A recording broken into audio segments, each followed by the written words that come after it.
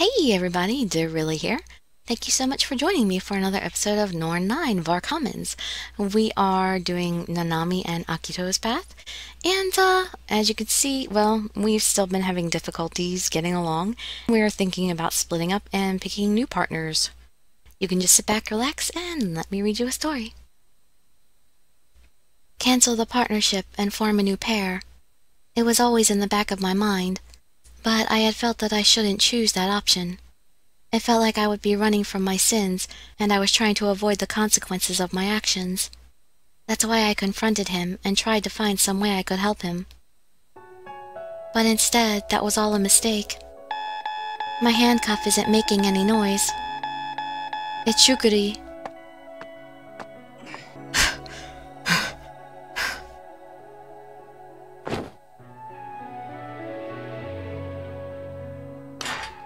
I reattached the chain.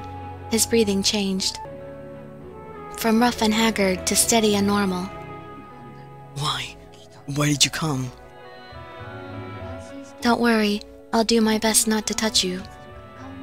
I'm also looking down, so you won't have to see my face.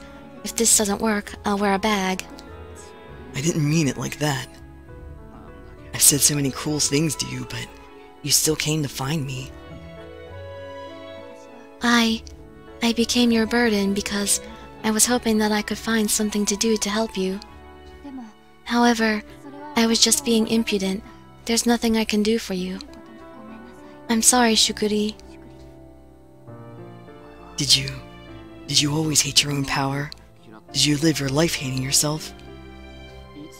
Did you live thinking that you could die at any moment? You took away something precious of mine. You're a cold-hearted human. As long as you get paid, you steal precious things from others.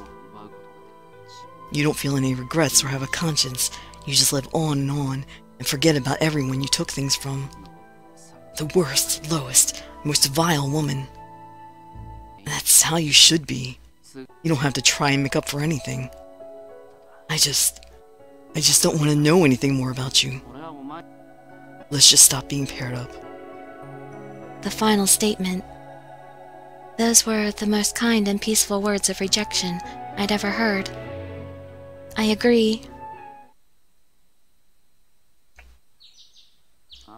It's morning already. Yeah, I'll tell them that we're splitting up.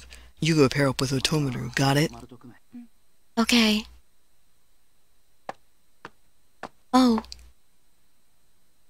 I suddenly realized something. I'm not being yanked around at the chain. Shukuri has slowed down. He's matching my pace?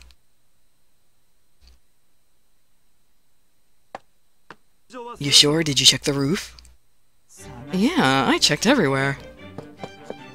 What? Did something happen? What? Did something happen? Hey, what's going on? Akito, Nanami, it's Mikoto. Have you guys seen Mikoto? Mikoto, no, I haven't seen her.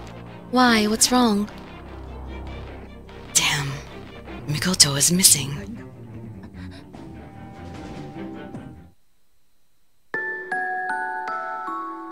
Hiyoko time. Double check all the places you already looked. If you find anything, report back to us. A bright blue sky. The flower petals that float in the wind.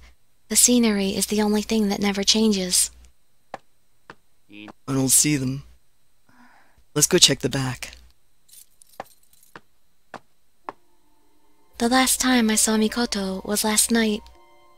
Nijo was the one who noticed she was missing this morning. And Moroboshi isn't here either. As far as I know, there's no connection between the two. They weren't paired up, and prior to that, they were on different teams. I've never even seen Moroboshi hang out with Mikoto. I wonder where the two of them went and why. Those two are the ones who are missing. The anxiety crashes down upon me like relentless waves. Even though the ship is freaking huge, there's still a limited amount of space here. If we've been searching this long, it must mean they're not on this ship.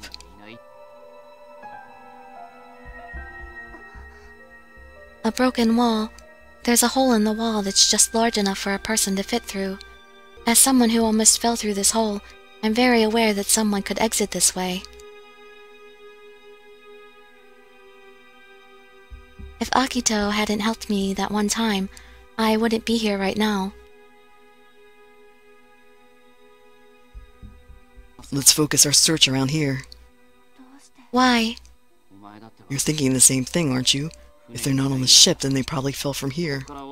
I don't want to think that. I. I don't want to think that. I understand that you don't want to, but there's no other explanation I can think of. You were pretty close with Mikoto, huh?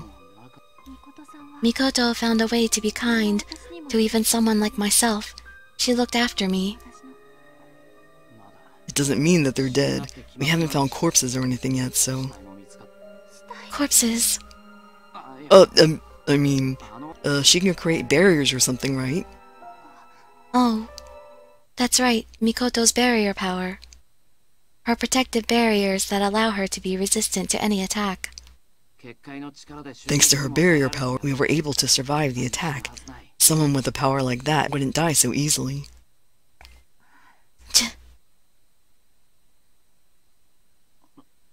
Although Moroboshi, Oh, well, you figure if they both disappeared at the same time, they're probably together. Plus, he kinda seems like the type of guy that'd survive someone trying to kill him, right? he does give off that aura. He's not trying to comfort me, he's just speaking his thoughts out loud. But what he said makes me happy. I need to hear someone say those words right now.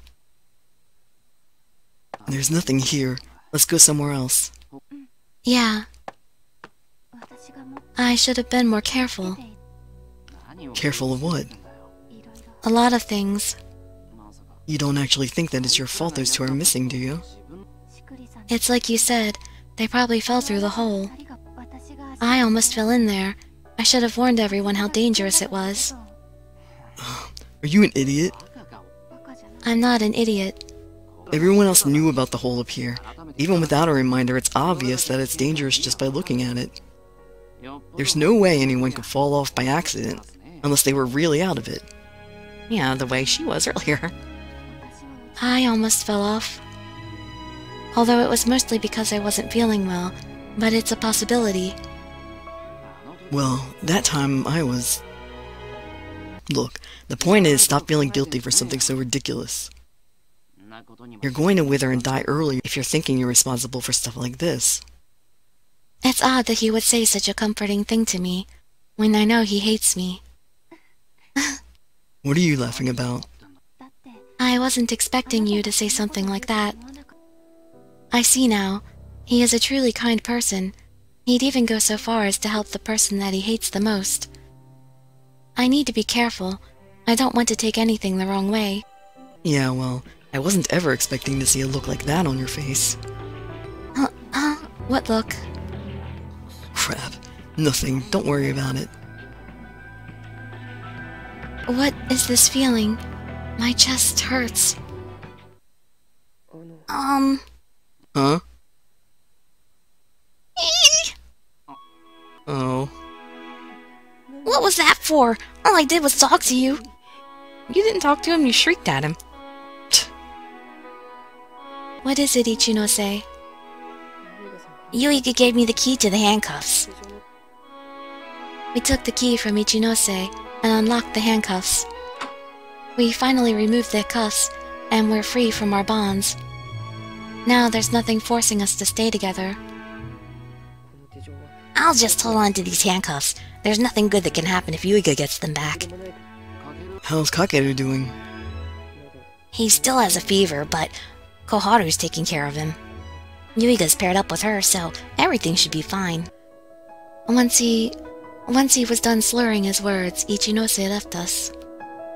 When he mentioned Yuiga being paired with Koharu, I thought I saw his pupils twitch. Ichinose hates Yuiga. Maybe that's why. Now we're finally free. Yeah, We should leave this area. There's no reason for us to stay here. We didn't find anything on the roof, I wonder if that's a good thing or a bad thing for us.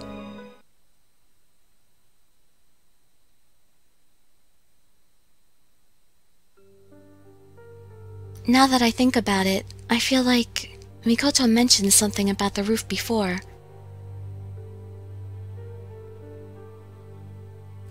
I have already set a barrier around the ship. I will admit, I have never had to enclose an object this big before, so the barrier across the roof is thinner than I would like. Putting it another way, so as long as the roof is defended, no attack can touch us. Mikoto always had the barrier around the ship. Even on the roof here. Hey, why do you always just stand in place all of a sudden? Hurry up! Hey, what are you doing? I took my kunai and threw it towards the sky. It flew up, but it didn't reach where I was aiming. Gravity overtook the kunai's acceleration, and it clattered back to the floor. What on earth are you thinking? That's freaking dangerous. I swear I can never figure out what's going on in your head. It's no use. I can't reach it with the kunai. What? Mikoto's always protecting the ship for us. If she's still alive, then the barrier should still be in place too. I was trying to confirm it by hitting it with the kunai, but I couldn't throw it far enough. I need to find somewhere closer. The ship has many windows, but none of them can actually be opened for safety reasons. I need to find somewhere that the kunai can reach. Ah! I returned to the area with the hole. I tossed the kunai at my target. The kunai flew through the hole, then stopped abruptly in the air and dropped. That sound just now. The kunai hit something, right? Probably, And that means the barrier is still up. yes. We can't say that it's certain. Let's slap Kakeru awake and try some more tests. He can probably find the barrier easily with his ivy.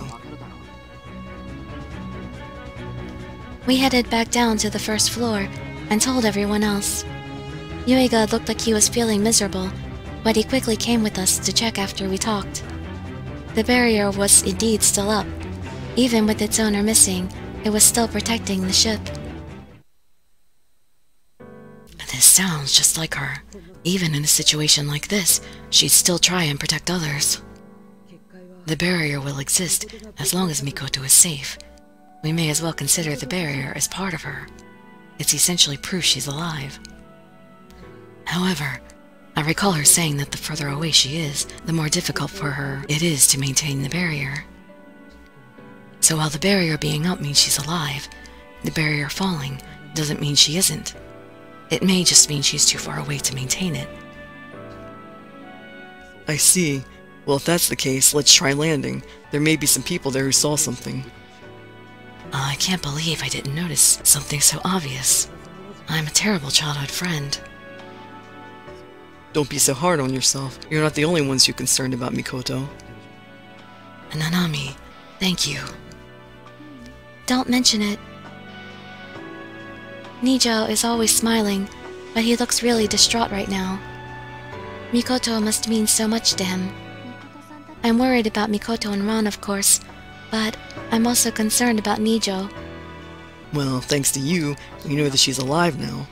That should make things a little easier. If you hadn't figured that out, he'd probably be a total emotional wreck right now. You did everything you could, so you better not even be feeling a tiny bit guilty right now. You are the reason I figured everything out. If you didn't mention Mikoto's barrier, I probably wouldn't have made the connection. Even if I didn't say anything, you still had all the pieces in your head. You were able to put them together because you really cared for Mikoto, and you were thinking about her. I didn't do anything at all. Even still, thank you, Shukuri. Stop being grateful to me. How disgusting. Okay. My chest. Pain again. You know what? We haven't even eaten yet. Come on, let's go get some food. Food. I'm hungry. Wow, are you sure you're a girl? Girls' stomachs do not growl like that. It's because you mentioned food. I couldn't hold it back anymore. Whatever, let's go. Usually, Shukuri would briskly walk ahead, and I would just be staring at his back, but now Shukuri is walking right beside me. It's almost as if... as if we're still chained together. I glanced at my wrist reflectively, but of course the chain is no longer there. Well, maybe the chain trained him. and yet, for some reason, Shukuri is still right beside me at this moment. It's not that I find this unpleasant, it's just that he would normally hate being in a situation like this. There's nothing unpleasant about this right now. If anything, I'm almost joyful. Joyful? What am I thinking? You don't have to force yourself to match my pace. Huh? I'm not trying to match. It hit me all of a sudden. We were supposed to have gotten new partners this morning. The morning's events made us forget our situation, but Shukuri still detests me. He is probably still looking to distance himself from me right now. Something in my chest feels a twinge. A similar pain to the one I felt when Shukuri was being nice to me. I wonder if... This feeling... Is it sadness?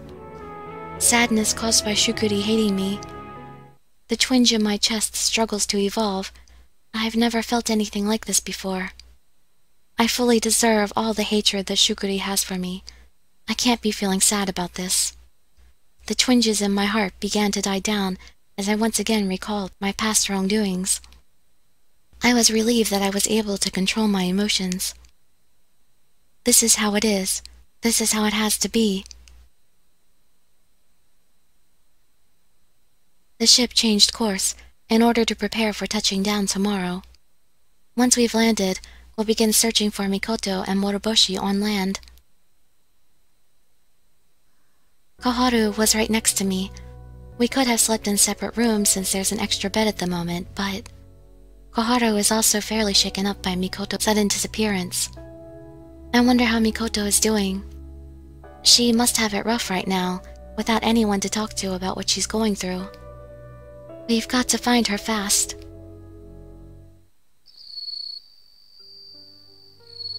This place is... So, you think we'll find something? Yeah. No, there's nothing out of the ordinary here. I see. Otomaru and Kagami. Oh, it's Nanami. Whoa, what are you doing here? Hey, aren't you the one who called her here? Hmm, maybe I made a mistake because I'm not used to it yet. What's up with that outfit anyway? You look super cute, and we're all dressed differently from usual. What's going on? Oh, they're relics of dreams I kept around so I can play with them later. My head starts to feel odd. The things they're discussing aren't making any sense to me. What is this? Is this a dream? Yes, indeed. Hurry on and go home. This isn't your dream. I started walking straight towards where Kagami was standing. I was still in a fog, my mind was clouded, and I couldn't think straight. They're Ichinose and Koharu. No, he's not a Hiyoko in this one. Koharu is in her usual outfit, but Ichinose was wearing a strange outfit, as was I. They haven't noticed me. Ichinose doesn't seem to notice anything at all aside from Koharu. Do you like him? I can never go against him.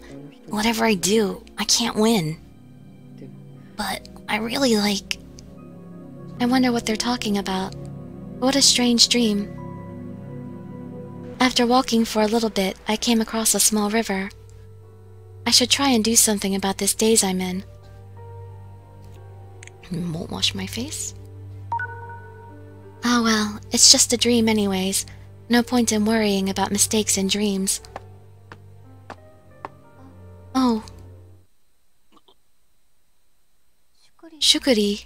What are you doing here? Those pointy ears, they're obviously not the ears of a human. He had something fluffy looking draped around his neck. D don't look at me. I didn't choose to be dressed like this, you know. Once I woke up, I was dressed like this. The ears won't come off no matter how hard I pull. Damn it all. So cute. I want to touch them. It's just a dream, right? I don't have to hold back at all. Hey, don't come near me. What the?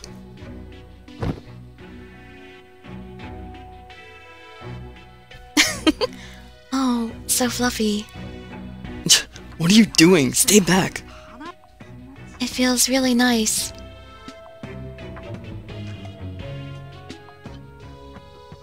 Uh, anything but the ears. It, it's super ticklish there. No. So cute. Uh,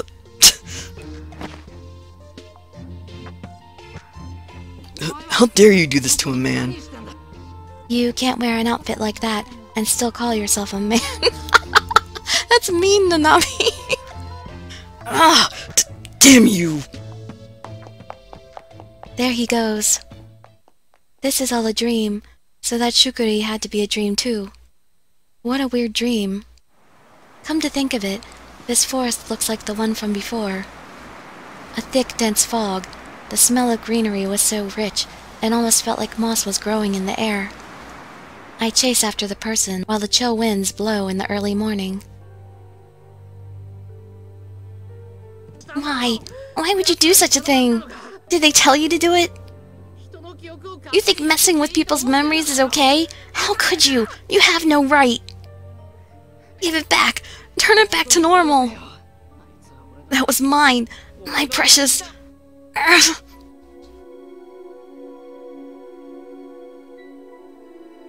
replayed this scene many times in my dreams. Everything about that moment the cold air, the rich scent of the forest, the painful, agonizing scream that shears my heartstrings it's all etched into my memory. Hey, you better not get carried away. Shukuri, Don't you dare say my name so casually. I was just being kind to you as a joke. Don't tell me. You better not think that I actually forgave you or something. I wasn't thinking that at all. Whatever. I know I can't trust you. I'm not. I know that what I did to you, it. it isn't something I can undo. It's something that can never be forgiven. Damn right. Suddenly, he grabs a hold of my neck. Due to his overwhelming strength, I'm unable to breathe. I didn't have the urge to resist him. Not because this was a dream, but because this is the way it should be. Of course, Shukuri wants to kill me. This. this is all I can do to repay him. this pain was familiar to me. I've had my neck grappled like this by someone in my distant past. If I resisted, I'd be forced back down, and as if someone was putting a curse on me, he'd bellow in a deep voice. The only one who can make the best use of your powers is me. Only me. Father, Go. Shiranui. Hey, are you okay? there's two Shukuris. The normal Shukuri in his uniform, and the Shukuri with ears. Which is real? Are they both fake? Is that me? What is going on here? That's what I want to ask you. Didn't you want to kill this girl? This girl, the only one who stole something precious to you. Don't you hate her? Don't you want to kill her? I am you. I'm helping you get the thing that you want most. Stand aside, let me finish this. No way. Stop trying to imitate me, you stupid knockoff. You are not me. Be gone. Damn, what the heck was that? Hey, Shiranui, you alright? Ah, You have marks on your neck now. What are you supposed to do for something like this? Uh, you want me to ice it? I guess you can't speak yet. Wait up, I'll call someone over and... I grabbed the Shukuri's shirt as he tries to stand up. I'm having dreams that are so convenient to me. I can't believe you would save me. This is the second time. Back when I almost fell off the ship, too, he reached out for me. I deserve to die for what I did to him, and yet for some reason he. Back then, I was stunned because I couldn't figure out why he would do such a thing. But since I'm in a dream right now, I'm able to stay calm and press him for an explanation. Such an overly convenient dream, but I'm really joyful. If I'm in a dream, I might as well allow myself to indulge in a bit of joy. Shukuri is kind, although he's very blunt, and his kindness is difficult for others to really see. He's very warm, and his kindness is comfortable to me. I've felt this kindness for a while now. We were paired up, and now that Shukuri started showing me his kindness, I... I might like... I should probably stop here. Even in a dream, this type of thinking is inappropriate. It's not a dream. It's not a dream. What?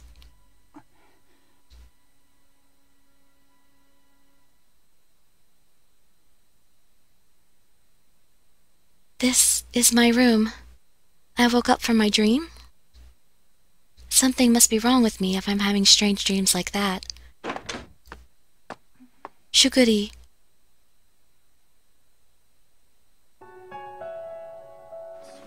Shukuri. That guy wasn't me. What? Wait, were we seeing the same dream? If so, that was no ordinary dream.